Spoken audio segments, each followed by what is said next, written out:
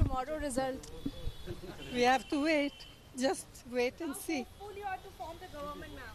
Well, we are very hopeful that our results are completely the opposite of what the exit poll is saying.